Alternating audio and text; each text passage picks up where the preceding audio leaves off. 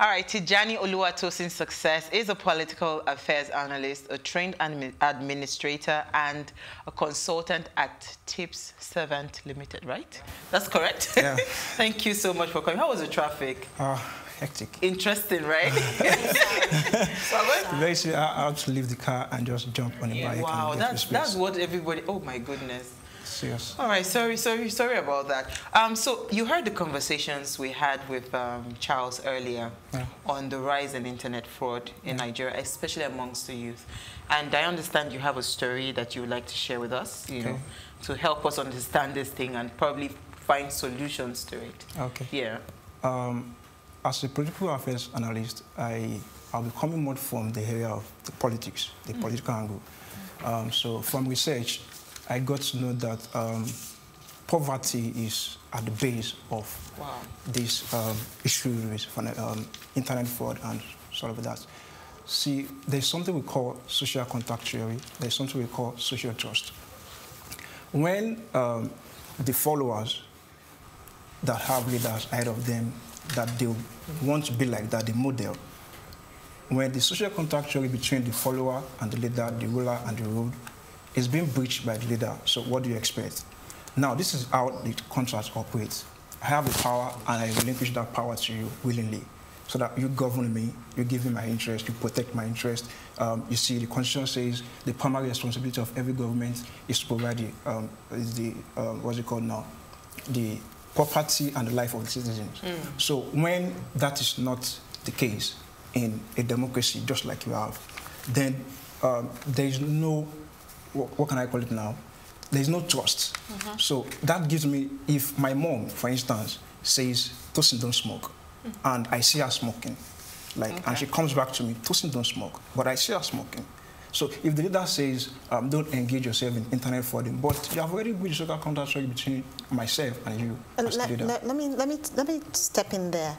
The, the- recently, um, uh, the ex-governor of um, um, Lagos State was swindled by a young man who had actually um, hacked into his account, and he has been operating it for the past uh, six years. He was. Um, he was duped to the point of, um, or swindled to the point of 3.1 million How naira for that period of time. Now, do you, are you going to say that we all know that Fashola is a credible leader? So are we now? Are you now saying that the, the young man actually looked at Fashola and decided to do the same thing to Fashola because Fashola has been? Okay, this is the point. Um, the ideology of any state is the ideology of the ruling class. So what is the ideology of our ruling class? It's the ideology of accommodation. See, it doesn't have to be that I see that um, someone looted before I, I also do the same thing back to the person. But there's an ideology, there's a system, there's the way the, the ideology operates. It's inbuilt, it's like a culture. See, corruption itself is a culture. When you have a culture of corruption, then you see every other thing happen. So it's an ideology that you have seen like a trend over time. years. So you have to you have to up your game, whichever way you want to do it. It doesn't matter. It doesn't um, really really count until you see somebody somebody doing what you really want to do. But Yeah. once there's an ideology how, to follow, So how do we eradicate this mindset? The ideology. This ideology, this mindset Okay. of, from the No, youth but of before you today. even before we even go to we- how, How do, how do because do? Tijani, you mentioned something about poverty. Yeah. Why do I tend to disagree with you on that? okay, Do you understand why? Because um, I think it gets, for me, fraud gets to a stage where it has grown beyond just poverty. It is now gotten to a stage where I want to be a certain kind of person. I want to live a By kind of life. life. I want to have a certain kind of standard. You know, why do I believe that? That it's beyond Because poverty even after they've at made this the point. money, because they yes, are still doing you know, it. So yes. it has got nothing Can- to do with the leaders what- at the end of the day or poverty. that? okay. Um, this is how poverty comes into picture. Yeah. See, poverty is a thing of the mind.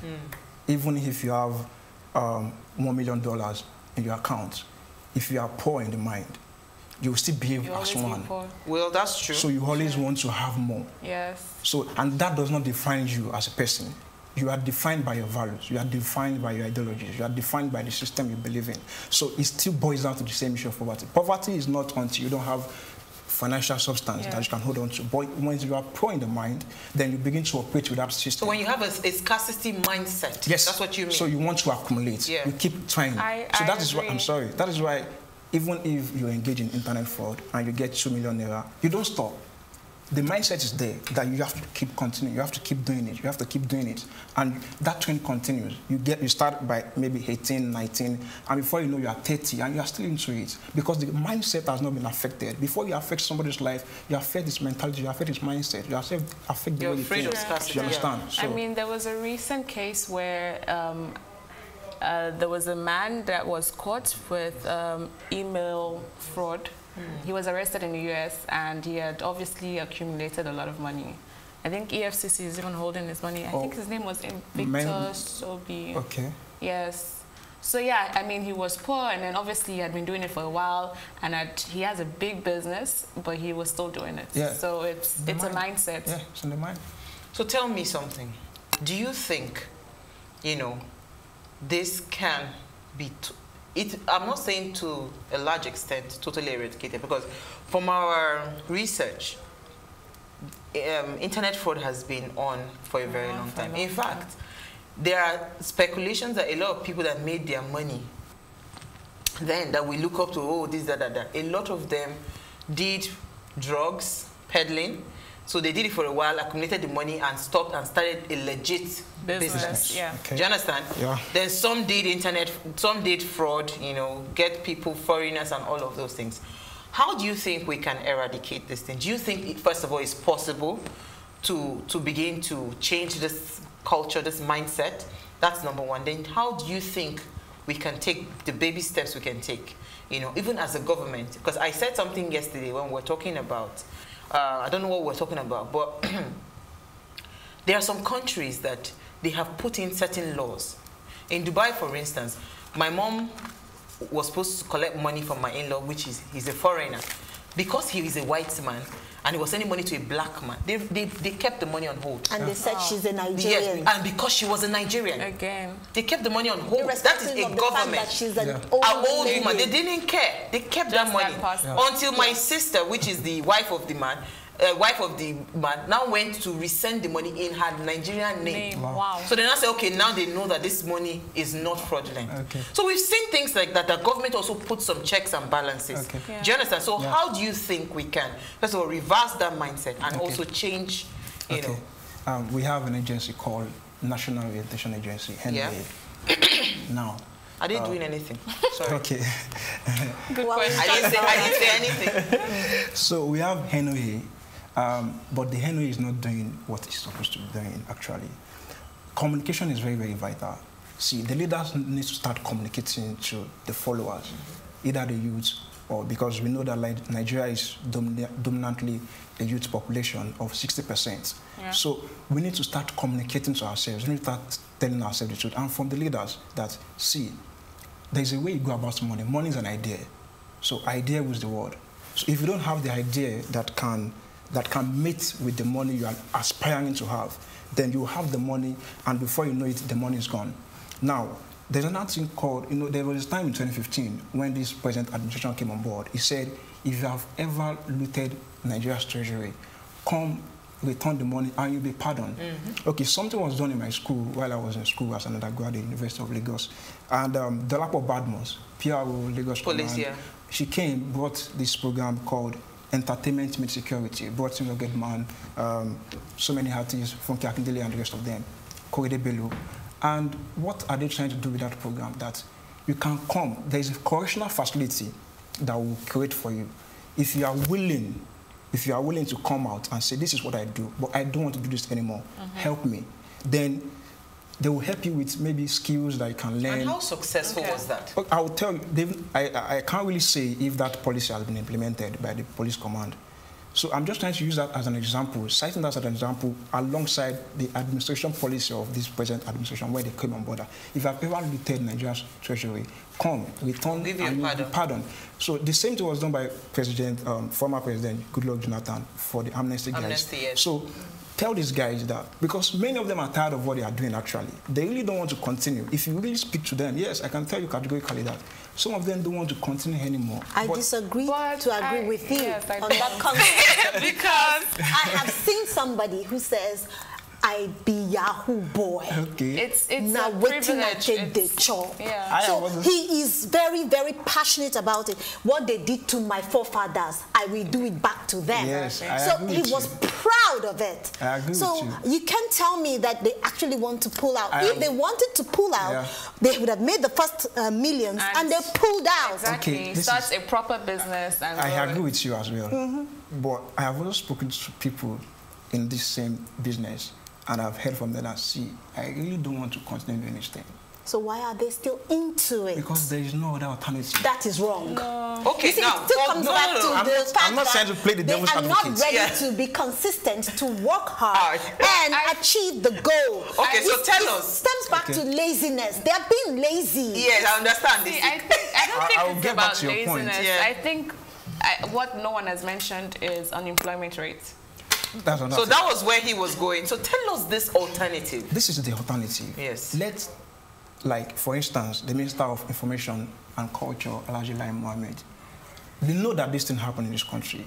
Let them come out and say, okay, let them be proactive, speak out on these same issues. They know. Some of them have um, sons and daughters in this business. Hmm. You'll be amazed to know that it is not only For poor man. Yes, eh? That's why I say it's not poverty. so it's that's the mind. It's the mind. So it's not only for it's not only poor guys that are into this business. Even sons of the rich, the queen and the la queen are also into the business. You understand? So let them come out openly. Let them face it and be realistic that we know this thing happened. We know this thing is going on. Okay, this is how we want to eradicate it because not all conflicts will be totally eradicated, but can only be managed. Can to it be some extent. curbed? Let Yeah. me let me ask, tell you something. I was at a gathering where I, I met um, a young man who was working in a bank, and he said that oh he met a young another young boy who was um, unemployed, and he asked him oh what do you do? And the boy said okay I'm jobless. I'm looking for work. I said okay come and see me and I'll give you um, something to do. And when he got there, he felt that, oh, he's a graduate, so they're going Yeah. to give him something big, you know, only for him to get there and they gave him something as a contract staff. Now, when he got there, after being given a con- the contract for being a contract staff, how much was he being paid? He was being paid 30,000. See, that's another reason. Now, he saw it and he said, ah, Oga, I, I thought uh, I'll be earning more. I'm sorry, I can't take this job. so it still comes back Tijani, But to the fact that his you are defense, not in his ready defense, is to very- work. in- no, it- it's not about not ready to work. This It's is- that one that you ah, said. this big happened, issue. This happened like five, six years ago. Not, I'm not talking about in, It in- doesn't in the matter. that rate. money is so too little. And See, that's another reason why people I- are doing Yahoo. My first job, w- I was being paid. My first job I was being- 15,000 naira. Thank you. I was being paid 15,000 naira and it wasn't even coming regularly, And but I I was- was, there. and in that have but hold changed. Don't, no, Things don't My say first that. job was 50,000 It's naira. mindset, mindset, mindset Things- still comes things to are more expensive. And in that now. 15,000 No. naira, I was actually saving. But I want us to focus on Tijani. Okay. Yes. So tell us, how many people have you spoken with, and what are, I mean, what is their fear? You know, if they say they want to stop Yahoo Yahoo today, or they want to stop the internet fraud and all of that, what is their biggest fear? Stigma, one. Okay, stigma, Yeah. which is which is very key. In what Yeah. context? Th- that's number one. Then what is their other fear? Is it that the fear of that they might not have money tomorrow to live a lavish life, or what exactly? Apart from stigma, what do you think the other Um, fears are? fear is um, um, lack of Sorry, stigma in what context, please? you know, if if the society, the society that we belong to, is a kind that um, once you go back to what you've done before or what you've engaged in before, there are some opportunities and um, there are some privileges that may be denied you because they may not have the same mindset that you don't They belong don't- to that, that setting trust, again. yes, that the trust might be gone, yeah. Yeah, you understand. So that is The one that's fear. one So fear. what's the other one? The other fear is opportunities. Will there be opportunities even if I drop this thing, if Yeah. I no longer want to continue in this act or in this business? Will there be other opportunities for me to engage in that can advance my life? That was why I was talking about um, the correctional facilities and the alternative being put, um, Put in place. put in place by the government to say, okay, if you're not doing this anymore, we can put you in, uh, we can put you in school, we can put you to learn skills, we can. So just like they do for the amnesty guys, just like they do, that, like um, the So you think it is important for them to sit down and face the reality and call these people? Yes. I think point is that- we were, um, uh, what's it called, Faith, you just help us wrap up uh, Yes. what, I mean, the salient points you picked from Yes. So essentially, from everything that you said, you're saying that poverty is the reason why um, we have people doing yeah. Yahoo, and also um, people are following or emulating what their leaders are doing. So we need leaders to act right. Yes. And then we also need more correctional facilities Yes. to help people transition. People that want to stop transition Yeah, from stopping exactly. Yahoo to now being a proper citizen and you know adding to our economy, and also just creating opportunities and for them to you know change their lifestyle. Yes, exactly. I think also for me, one big thing that I've picked from Tijani is um, the social co- um, Contract. contact, contract theory Theory. and the social trust. Yes, Yeah. exactly. We, we need we need to have that because a lot of things still revolves around what these young people are saying with our leaders Yeah. and this is you know and this is who we place you know if you walked in here wearing nothing maybe just bathroom slippers people just look down on you, even if you're a billionaire Yeah. Yeah. but now because they see that oh you must ride a mercedes you must so the, the mindset this. has to be Yeah. restructured Shifted. it has to be I- I- restructured I, would yeah say that I would look at it from the educational point of view Mm. because um, um, the youths of today are not not just are the leaders of tomorrow. They are The- the leaders of tomorrow. hopefully- in so concept. your so last they word, should, Tijani. they should be taken um, Seriously, seriously. yeah. So what's your And final thought? That paradigm shift It in how they happen. think should happen. Okay, this is my parting word. You know, you can't give what you don't have. So let our leaders become who they want us to become. Okay. So they should first become who they really want us to become. Eh, But to make a change, you have to start No, that's why, let me yourself. tell you something. Change begins with you. Yes. you I'm not waiting for from any leader. You don't have to Thank you for the so much for coming. I understand that point, but Yeah. the truth is that at the point where we're at, I think we should start from ourselves. Yeah. Yeah. That's what I feel. Correct. So remember, Be you can join you the want to see. conversations, continue conversations on Twitter and um, on all all our Twitter pages. Continue the conversations there. All right, it's been a very insightful conversation. I mean, we had we had a great time today. Absolutely. We're hoping to bring Tijani back. Yes. because there's a there's a like to there's a lot that we we could do, but this menace has to be curbed. Even if our leaders are not paying attention, they want to pretend like they don't know. We know, and we'll keep bringing it up. All right, so let's take the quote again for today. Success isn't about greatness; it is about consistency. Consistent hard work leads to success. Greatness will eventually come. Yes, that's from Dwayne Johnson. So I'll see you guys tomorrow, 8 p.m. live. We're having our Christmas special, and Seun Kuti will be here as well with us tomorrow. So we'll see you guys. And remember, you can catch all the repeat broadcasts Mondays, Saturdays, and Sundays at 3 p.m. Yay! All right, see you guys tomorrow. Ladies, thank you. Thank you. Bye from us. Bye. Bye.